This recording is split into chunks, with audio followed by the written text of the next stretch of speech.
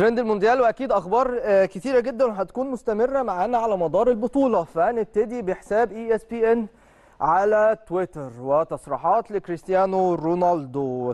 تصريحات يعني مستمرة على مدار الفترة اللي فاتت بخلاف حواره اللي كان قبل المونديال مباشرة. دلوقتي عنده بعض التصريحات المهمة قبل انطلاقة آه، البرتغال في البطولة. قال إيه كريستيانو رونالدو؟ قال أنا حتى لو فزت بكأس العالم فالجدال بشأن الأفضل في تاريخ آه، كرة القدم سيظل مستمرا. ده بيقول لي حتى لو إحنا لو أنا كسبت كأس العالم هتفضل القصة آه، مستمرة. في ناس بتحبني وناس ما بتحبنيش ده طبيعي. آه، وهي دي الحياة دايما. يعني زي ما الناس مثلا بتحب الشقراوات وناس تانية بتحب ذوات الشعر الأسود. تمام؟ أنا مضاد للرصاص أنا مكسو بالحديد وتوقفوا عن سؤال زملائي بشأني. الناس طبعا في لقطة أو فيديو كده كان انتشر ليه هو وبرونو فرنانديز طبعا نجم مانشستر يونايتد بالتحديد تاني يوم أو تاني يوم مباشرة تصريحات رونالدو آه، آه، الأخيرة عن مانشستر يونايتد التصريحات النارية اللي حضراتكم عارفينها. فالناس خدت اللقطات ما بينهم وبين بعض إن في حالة من حالات الغضب من برونو فرنانديز تجاه كريستيانو رونالدو بعد تصريحاته آه، النارية. فقال لك لا كل اللي حصل في الموضوع ده كلام رونالدو إن أنا سألت برونو فرنانديز انت طيارتك اتأخرت ليه؟ انضميت للمعسكر بشكل متأخر ليه؟ انت جاي عن طريق القارب ولا جاي إزاي؟ يعني في نوع من أنواع الهزار يعني ما بينهم وبين بعض وقال إن علاقتي ببرونو فرنانديز مثالية. هو سواء هو أو كل اللاعبين في المنتخب جواو فيليكس وكانسيلو والأمور على ما يرام ما بيننا. آه، وبلاش تسألوهم عني. يعني تسألوهمش عن كريستيانو رونالدو يا جماعة لأن فعلا كل يعني آه، مؤتمر صحفي أو مناسبة ل يعني التواصل مع لاعبي البرتغال بيبقى في سؤال دائم عن كريستيانو رونالدو وعلاقته بمانشستر يونايتد. هو الراجل إحنا دلوقتي في منتخب البرتغال وعلاقتي بمانشستر يونايتد والتصريحات مش هتأثر ابدا على مستوايا بل بالعكس أنا مركز بشكل آه، تام. ولما تيجوا تسألوا زملائي اسألوهم عن المنتخب نفسه عن البطولة ما تسألوهمش عني آه، خالص يعني. هو عنده حق في الجزئية دي بس هو ذكي قوي. كريستيانو رونالدو من اللاعبين اللي بيحبوا يلعبوا تحت ضغط.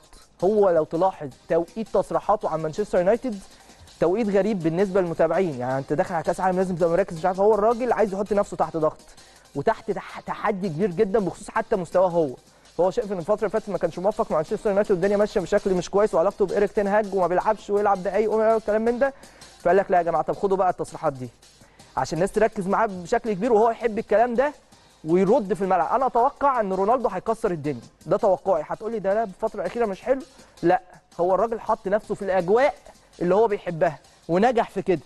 فهنشوف رونالدو آه، هيعمل إيه. اتكلم كمان عن توقيت تصريحاته النارية. قال التوقيت هو التوقيت آه، من جانبك من السهل أن تقيم اختيار التوقيت آه، أنتم على سبيل المثال تكتبون أحيانا أشياء حقيقية وبعض الاوقات الأخرى بتتكلموا من خلال بعض الأكاذيب يعني وده ما يفرقش معايا. أنا أتحدث عندما آه، أريد التحدث يعني والكل يعرف من أنا وما أؤمن آه، به شخصية قوية من من كريستيانو رونالدو وده أمر يعني معتاد منه. قال لك كمان نمتلك مجموعة آه، طموحة من اللاعبين تتحلى بالنهم والتركيز. ولذا أنا متأكد أن تلك المقابلة لن تهز غرفة خلع الملابس أو تشتت آه، تركيزها. قصده على التصريحات اللي قالها بخصوص مانشستر يونايتد. قال أنا في أحسن حال أتدرب بشكل كويس جدا وجاهز لكأس العالم بأفضل طريقة آه، ممكنة. وأشعر إن قائمة البرتغال حاليا رائعة وتمتلك إمكانيات كبيرة. منتخبات مرشحه في كأس العالم أو الفوز بالبطوله البرازيل والأرجنتين وفرنسا. وقال لك أسبانيا وألمانيا برضو من المرشحين. ويورو 2016 استطعنا إن إحنا نحقق المفاجأة وأكيد هو بيرغب في كده برضو في كأس العالم السنة دي لأن دي آخر كأس عالم بالنسبة له أو حتى بالنسبة آه، لليونيل ميسي. قال لي أنا ما بطاردش الأرقام القياسية التصريح المعتاد من كريستيانو رونالدو الأرقام القياسية هي اللي بتطاردني. و يعني تحطيم تحطيم بعض الأرقام ده شيء آه، بيسعده آه، بشكل كبير. يعني تصريحات عديدة بالنسبة لكريستيانو رونالدو بس أنا قلت لحضراتكم أهمها من خلال تصريحاته الأخيرة بخلاف تصريحاته عن مانشستر يونايتد وعلاقته بالنادي. خلينا نروح ل آه، برايم فيديو سبورت وعلى تويتر واللي نشر آه، تصريحات لديديه آه، ديشامب طبعا المدير الفني للمنتخب الفرنسي واللي قال بنزيما هو كان ال- القائد لكن العملية مش سهلة إن إحنا نختار مين اللي يكون قائد للمنتخب بعد خروج بنزيما من المعسكر بسبب الإصابة.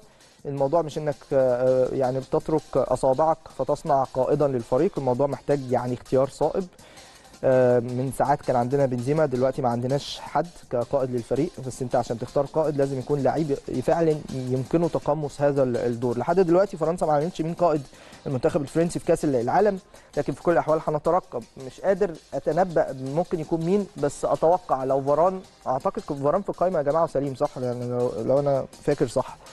أعتقد ممكن يكون فاران هو الأقرب أعتقد. لكن برضه أو ممكن كمان آه، هوجو آه، لوريس حارس توتنهام والحارس الأساسي أكيد للمنتخب الفرنسي برضه إن هو قائد كمان توتنهام لكن خلينا برضه آه، نشوف الأمور إيه.